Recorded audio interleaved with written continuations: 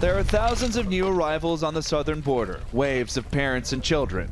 Carmen Mejia and her son Leon are tired. Sí, tiene gripe, trae gripe. Mejia's boy is sick with a cold. The group willingly surrenders after crossing the Rio Grande from Mexico. Taking care and feeding immigrants who've crossed into the U.S. illegally has fallen almost solely in one law enforcement agency, the U.S. Border Patrol. They don't say asylum, but there's a, they use a, a lot of terms. A lot of times they use, I'm scared, I fear for my life, gangs. Near Mission, Texas, these people take their first step into the federal immigration system, signing intake forms and showing any documents that can help them declare asylum. More than 66,000 people crossed the border illegally in February, including 36,000 parents and children. That's a record high, according to the United States Border Patrol, and even more families could be coming in the spring when border crossings traditionally pick up. Eventually, these immigrants will go to the Central Processing Facility in McAllen, Texas. The AP was not allowed to film inside, but the agency says it's scrambling to keep up with the volume.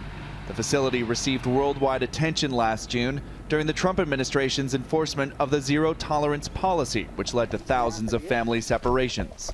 In the last year, two small children died in Border Patrol custody, leading to expanded medical screenings. Officials say this particular center is not meant for families, but that's precisely what they're handling. The average wait here is 60 hours. After release, groups typically arrive at places like the Catholic Charities Respite Center in McAllen, which too is feeling the strain of increased demand and local politics. City commissioners ordered the church to vacate the building by May after complaints from neighbors. For now, the charity provides food and medical checkups before these people move on to their next destination. What I've found is that they're not really anxious to tell somebody that they're got a fever or they're not real anxious to tell somebody that they're having an infection or having a problem because they don't want to detain themselves any longer than what the customary number of days is. Dr. Martine Garza is one of the volunteers providing care to immigrants like 21 year old Honduran Lily Romero.